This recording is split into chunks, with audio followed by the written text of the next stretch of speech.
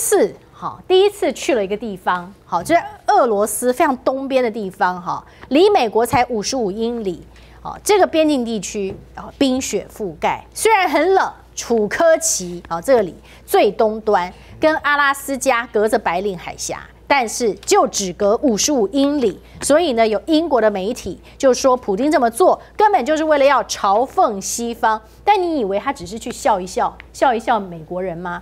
当然不是，应该有它的战略方面的一个用意吧。来，我先请教一下谢大使。那当然了，现在其实你知道以前这个那个那个地方的两边的这个爱斯基摩原住民啊，哎，他们在冬天的时候都是走过冰过去的。啊，白令海那个是通，那个是可以通的。是，所以欧亚大陆在这个极寒的时候，他们是通的。嗯，所以就是说，美洲原住民很多是亚洲的这些原亚洲的这个民族过去，就是从那个点出来。那当然，我觉得现在这个哦，那里多冷啊，零下多少？二十八度哦。对对对对，那个那个等于 接近北极圈啦。所以它是冰封的时候，嗯，两边的原住民是仿亲戚的，这边的到那边，那边到这边啊。那你要知道，阿拉斯加是当时的这个，这时候是沙俄卖给美国的，对，所以他们到现在还是非常非常的怎么讲呢？非常非常后悔了。可是阿拉斯加也是事实上是美国跟这个俄罗斯最最接近的地方，所以我觉得普丁特别去一下，当然有他的政治遗憾在里面，极强的政治遗憾。因为这个地方要要对美国的所谓的美国领土进攻哈，这也是最快的一个地方。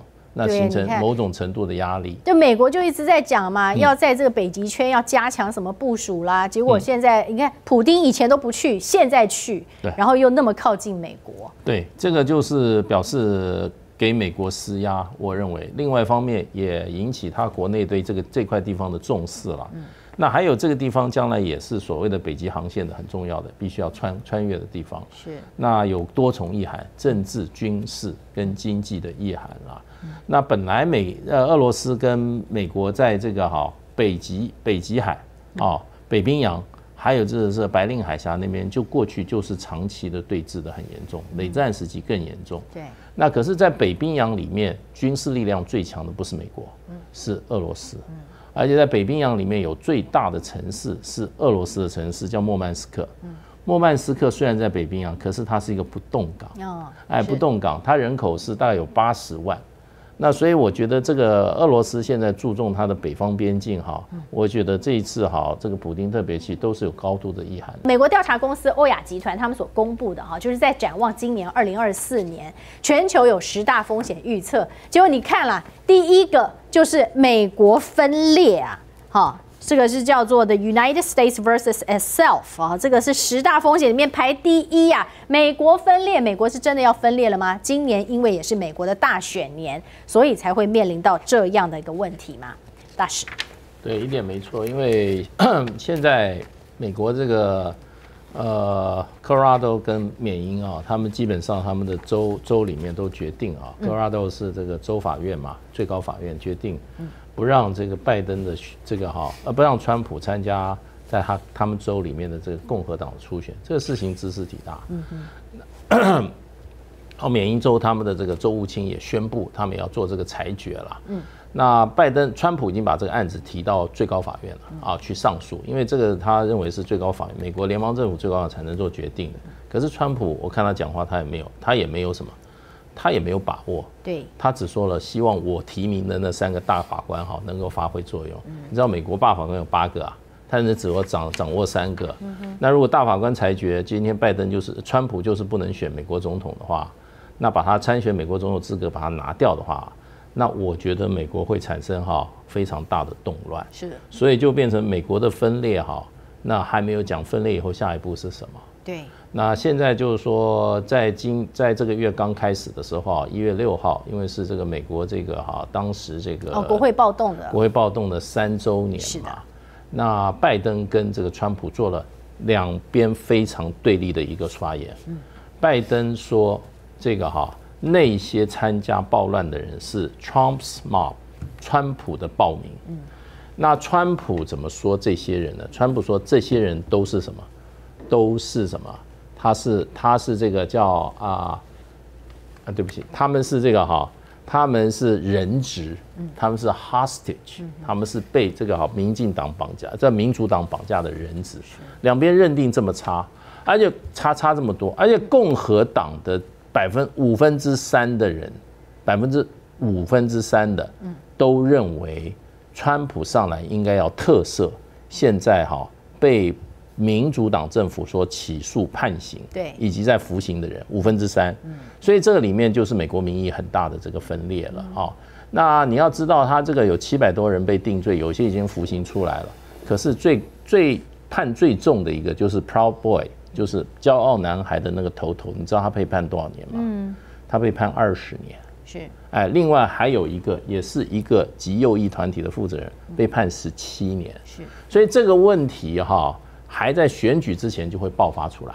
然后呢，我认为这个就是说啊，呃，川普是认为就是说有没有他有没有办法参加初选的问题啊，在两个州初选的问题啊，他认为美国的联邦政府啊，联邦法院会非常快的做决定。嗯，所以这个决定就是一个美国政治的危机的一个关卡。如果没有过去的话，我觉得川普他的支持者会抓狂。嗯，然后呢，就美国分裂，美国这个分裂可不是简单的哦、美国上一次分裂就是美国的南北战争，哎，那个是十九世纪。所以现在这个噩梦感觉又要对重演了，所以我我认为他讲这个是世界头等大事哈，是一点没有错。是那中东的问题，我还觉得不是第一个，我觉得乌克兰的问题比中东的还严重。在北欧的国家里，现在呢，包括瑞典、芬兰，是不是都挺有压力的？为什么这样说？好，我们先讲，请教杨老师，你看瑞典，好，瑞典这个北欧国家，它其实已经大概维持和平超过两百年了，可是现在却要大家备战。好，要做好这种战争的准备。两个国防的官员哈都这么说，说瑞典可能会发生战争哦，要大家做好心理准备。那当然啦，他们的前总理就立刻来批评了哈，说是这样是制造着恐慌吗？哈，这相当的不满。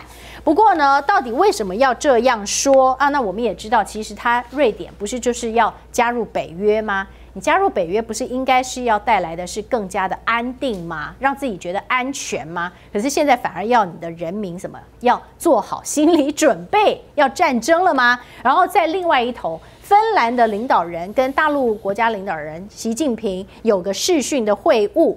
那当然啦，我们知道他们有谈到有关于这个天然气管线之前受损的事情，可是这是不是也在讨论地缘政治啊？因为芬兰哦，不也是跟瑞典一样，也是要加入北约的成员吗？老师，这两个国家的政治人物啊，在俄乌战争开打到现在连续犯错，他没有教提到他过去国家历史上的教训，嗯。以及在地缘政治上的这种复杂性，他被当时的美国的西方的媒体，就欧洲的这个媒体一面倒的倾向这个战争，就完全是俄罗斯发动发起，嗯，哦，然后呢，接下来就会打北约国家，嗯，那或者是北欧国家，因此没有加入北约、没有得到美国的军事跟核武保护的国家，很可能就下一个目标，嗯，所以他们连续错了两个两次，第一个加入北约。第二个开放给美国的军事基地，瑞典开放了十七个，嗯，美军这个基地让美军可以进入，而芬兰开放了十五个。当芬兰跟美国签署这样一个协议的时候，马上一千三百公里长的芬兰跟俄罗斯之间的边境哦，就变成一个这个导火线对啊！因为你现在想想看，芬兰距离那个圣彼得堡多近啊！对呀、芬兰其实跟俄罗斯以前的苏联打过两次仗，嗯冬季战争跟之后的持续战争。所以当时第一时间，俄罗斯就表达了强烈不满。对，所以他就重建了列宁格勒军区，然后在那边也部署了一些，就是说这个呃武器。那他的部署武器是防卫性的，所以从俄罗斯觉得说，事实上是美国进入到了跟我的这个第一的边境。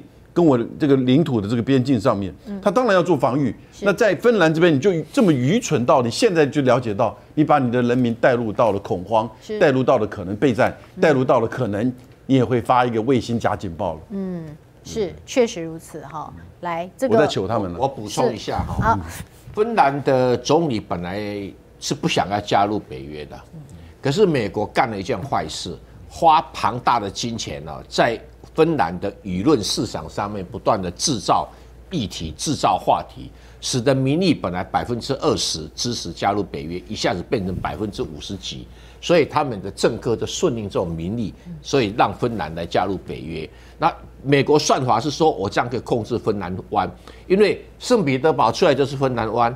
可是你有没有想过，你美国加上芬兰，如果发生战争的时候，你能够挡得住列宁格勒军区吗？嗯，这个会比乌克兰更差啊。是。可是你知道吗？这种美国用媒体所煽动出来的一种民意所支持出来的政策。就会把芬兰带上不归路。我最近试了一个东西，真的很有用啊，所以要分享给大家，那就是太阳星全效克菲尔益生菌。哦，吃了两三天，真的有明显的感觉。最主要就是睡眠的品质变好喽。那你知道这个睡得好呢，整个人工作就可以更加的专注，当然情绪也就变得更好了。因为太阳星全效克菲尔益生菌，我才认识了这个克菲尔益生菌。它是由多支菌种益生菌所组合而成的，不但是能够维护消化道机能的正常运作，而且呢还有多种有益健康的保健功能，非常的强大。有台大教授专门研究它，把它叫做神仙的礼物。而您知道吗？有上千篇国际研究证实，克菲尔益生菌不仅是帮助肠道健康，肠道菌透过肠脑轴影响全身的器官。所以维持肠道菌种的平衡，这是解锁身体健康、精神健康的钥匙。对于帮助睡眠、维持好情绪，真的是很有感。也因为这不是药，有季节敏感、代谢困扰、关心恶性细胞风险的好朋友们，选择太阳星全效克菲尔益生菌，做好日常的保养，身体轻轻松松，没有负担。每日克菲尔，时刻美好，Good feel feel good。请上快点购为健康下单，也记得输入推荐码，有额外的折扣哦。